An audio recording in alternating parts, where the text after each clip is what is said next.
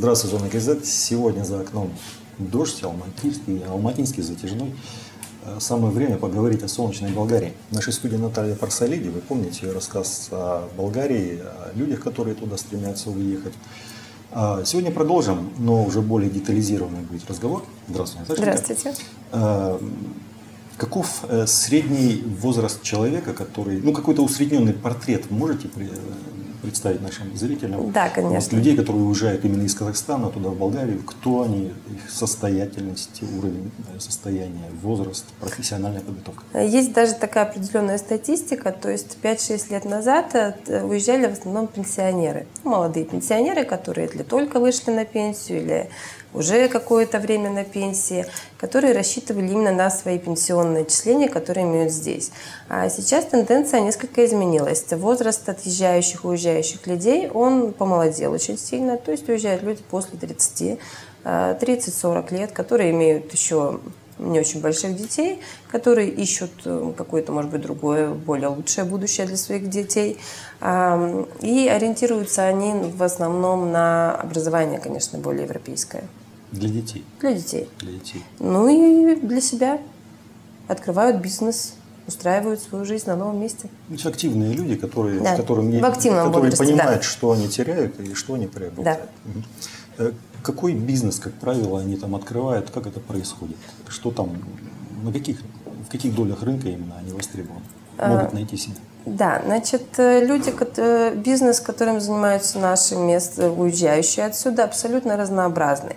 Ну, конечно, когда люди только переезжают или планируют переехать, 50% из них думают открыть какое-то русское заведение или национальную кухню, но потом они от этой мысли все-таки уходят.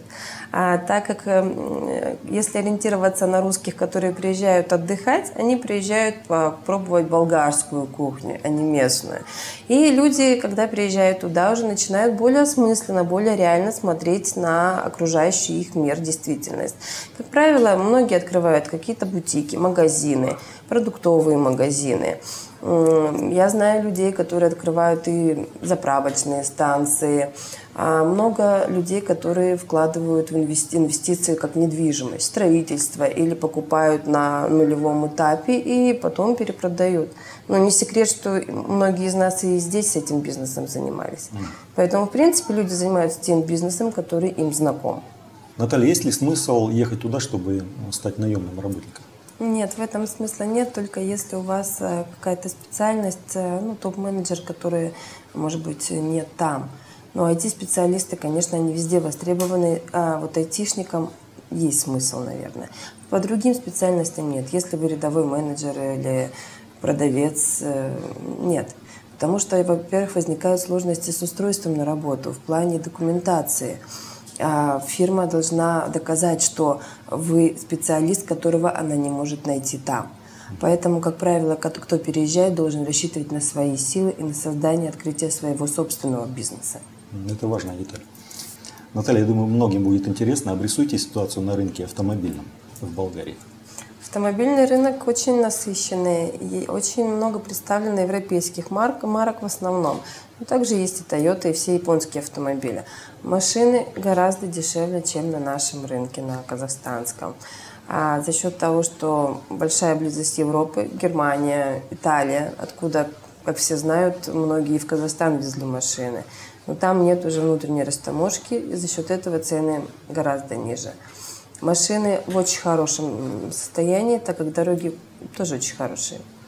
А что предпочитают местные жители? На чем они передвигаются? Небольшие малолитражки, так как э, в городе достаточно проблематично с парковками. Ну а наши там к каким машинам привыкают или не изменяют привычкам ездить? Нет, на, не изменяют. На домах, на Не изменяют, да. Ясно.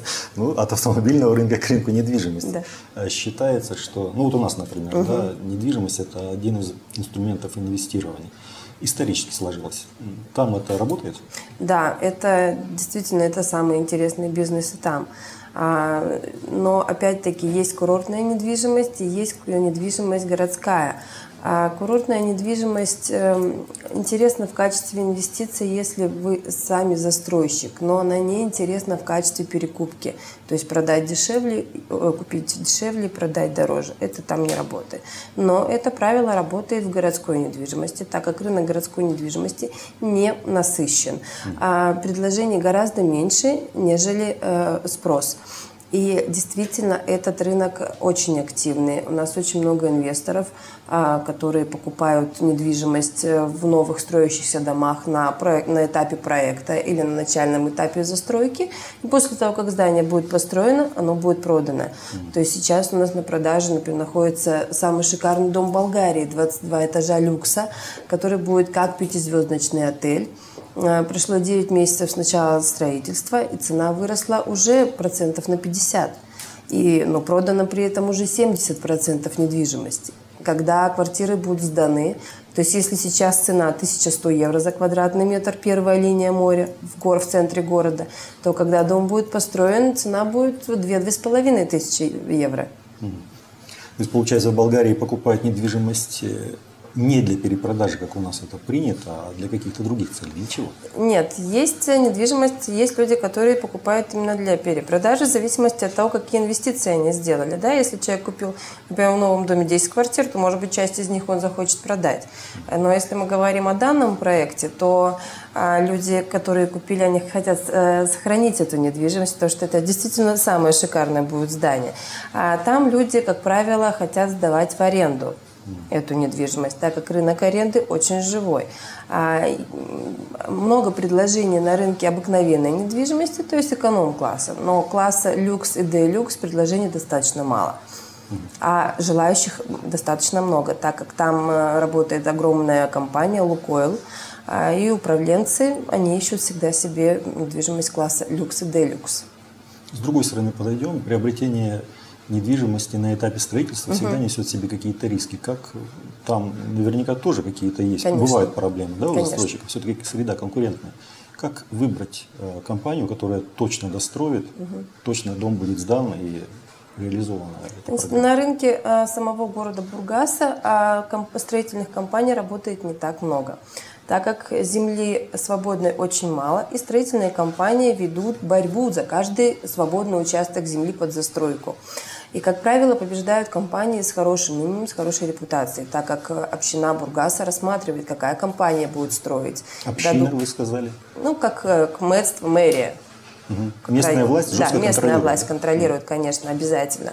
И, как правило, мы работаем, ну, я лично, я работаю с очень крупными строительными компаниями, у которых никогда не было э, опозданий или задержек, или вообще замершее э, строительство. На Солнечном берегу, конечно, на курортных зонах есть компании, потому что строительства очень много, и нет возможности физической проконтролировать каждую строительную компанию. В Бургасе такой проблемы большой нет. Mm. Э, страшный сон э, любого покупателя жилья добросовестно. У нас, по крайней мере, это недобросовестная сделка. Через, спустя какое-то угу. время появляется человек, который предъявляет претензии, ибо его права были нарушены. И закон на стороне этих людей. А как вот там, э, как защищает Болгария закон добросовестных покупателей? Во-первых, каждую сделку у нас проверяет обязательно юрист. То есть перед тем, как заключить договор задатка, мы отдаем все документы юристу. Юрист проверяет полностью, нет ли обременений, нет ли каких-то скрытых наследников и так далее. Следующим этапом мы обязательно берем справку о том, что недвижимость не находится в аресте или в залоге, так же, как и здесь. И следующий этап, он проводится уже перед непосредственно сделкой. Эту справку смотрит онлайн э, нотариус. Плюс нотариус устанавливает э, личность продавца и покупателя. И если какая-то проблема, то нотариус имеет, несет ответственность. Каждый нотариус застрахован на определенную сумму денег, э, чтобы избежать такие риски. Это важно. Да. А, поговорим о земле, угу. приобретении земли иностранцами приобретение, чтобы построить дом, насколько это реально, если ты иностранец, ну или просто стро... приобретение дома на земле. Угу. Какие-то ограничения существуют? Да, конечно. То есть иностранцы не имеют права на свое имя покупать землю. А для этого мы открываем фирму, покупаем землю на фирму. Тоже, э, так же дело обстоит и с машинами. Машины мы тоже покупаем на фирму. Но это небольшая проблема, то есть мы сдаем, открываем упрощенные фирмы и сдаем раз в год на любую отчетность. Насколько это по налогам и так далее? Налоги, налогообложение гораздо упрощеннее, чем здесь, и налоги достаточно невысокие. То есть за дом вот такого плана, опять возвращаемся к нему, налог в год будет порядка 15 тысяч тенге.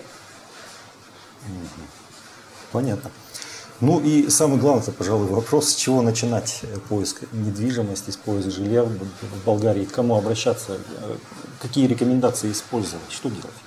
Ну, в первую очередь, конечно, вы должны найти для себя того человека, с кем вам будет удобно и приятно работать, то есть риэлтора. А кому вы можете обратиться, кто вас поймет то, что вы хотите.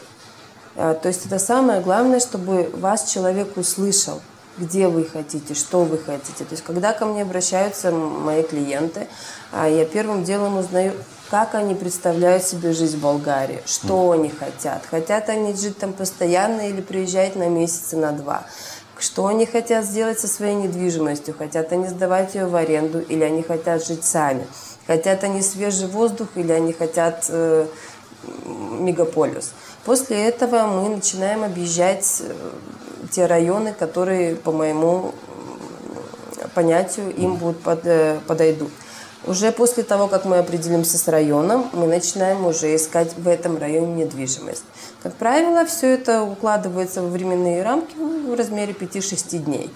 И если человек приезжает на неделю или на 10 дней, то мы вполне успеваем совершить сделку.